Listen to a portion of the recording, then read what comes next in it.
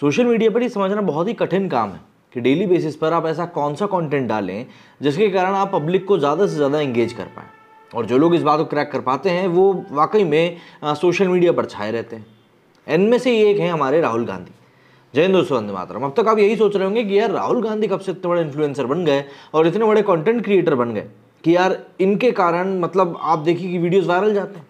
देखिए, राहुल गांधी शायद वो गंगाधर हैं जिनको पता नहीं है कि वही शक्तिमान है। क्यों? क्योंकि राहुल गांधी को आप देखेंगे कि डेली बेसिस पर वो कुछ ना कुछ ऐसा करते रहते हैं, जिस कारण वो सुर्खियों में आ जाते हैं। कल की बात कर लीजिए। कल सुबह से सोशल मीडिया पर एक वीडियो वायरल हो रहा था, जिसमें कि उन्होंने खुद को ही अनफॉर्चुनेटली कह दिया। फिर उनके साथ बैठे हुए जयराम रमेश जी ने उनको बोला कि भैया, आपका मज़ाक बन सकता है। फिर उसके बाद उन्होंने खुद को ठीक किया। दिन भर कल इसके बारे में ही बात चलती रही और आज सुबह से फिर एक वीडियो निकल कर सामने आ गया। इस वीडियो में ऐसा बताया जा रहा है कि ऐसा दिखाई पड़ रहा है कि राहुल गांधी जो है अपनी नाक निकाल कर सामने खड़गे जी के कोर्ट के ऊपर पहुँच रहे हैं। अब इनका ये वीडियो वायरल हो गया।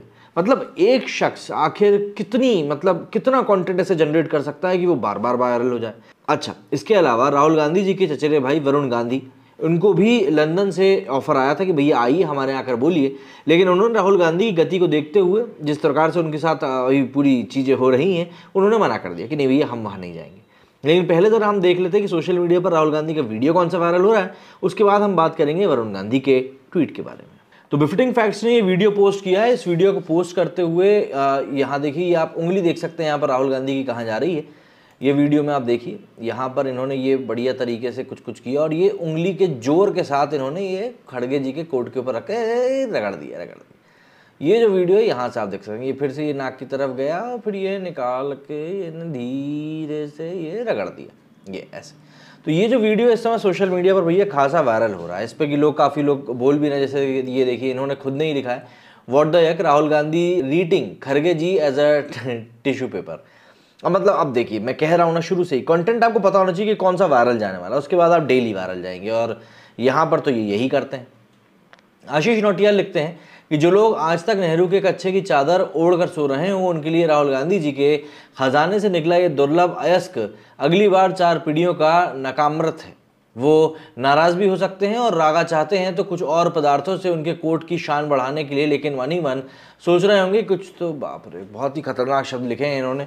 वर्चुअल सुट ने लिखा है this is an effective transference of ideas Rahul ji का हाथ नाक पूछने के बाद खड़जगे जी के साथ। अच्छा निंदा ने लिखा है कि भैया, Rahul Gandhi showing Kharge ji his true place he actually turn a metaphorical fact into a literal one Ramji भाई ने लिखा है सवाल नाक का था तो पूछ लिया। खड़गे जी दलित हैं, इस कारण ये जनेउधारी कॉल ब्राह्मण उनको अपमान कर रहा है, कठोर निंदा। बाप रे। If this is what it looks like Kharge will be feeling blessed and he won't be washing it ever he will make a museum and preserves it for the future generation of Congis Deepak Sethi लिखते हैं कि एक दलित leader के साथ ऐसी हरकत, छी छी छी छी छी। I actually feel sad for Kharge first he was not given that umbrella and now this remote control was a much better role one get what one deserve period school के बच्चे जब हाथ धुलते हैं तो ऐसे ही दूसरे की शर्ट पे बोझ देते हैं। और राहुल गांधी भी, भाई, मज़ा आया। छी छी छी क्या यार? तो इस तरीके से भैया लोग जो है कमेंट कर रहे हैं। ये देखिए, शेर संसद पहुँच गया है, अब शेर लोगों के कपड़ों में गंदी नाक लगाएगा। तो इस तरीके से वीडियो जो है वायरल हो रहा है। अब जरा वरुण गांधी के बारे में बात कर लेते हैं।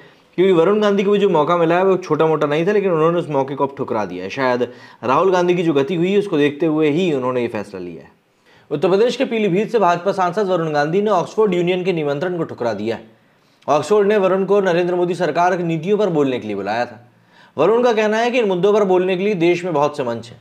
बता दें कि राहुल गांधी ने विदेश में भारत और सरकार की आलोचना करी थी, जिसके कारण उन्हें भारी किरकिरी झेलनी पड़ रही है। वरुण गांधी ने इसको लेकर ट्वीट कर बताया कि मैंने ऑक्सफोर्ड यूनियन के निमंत्रण को अस्वीकार कर दिया है।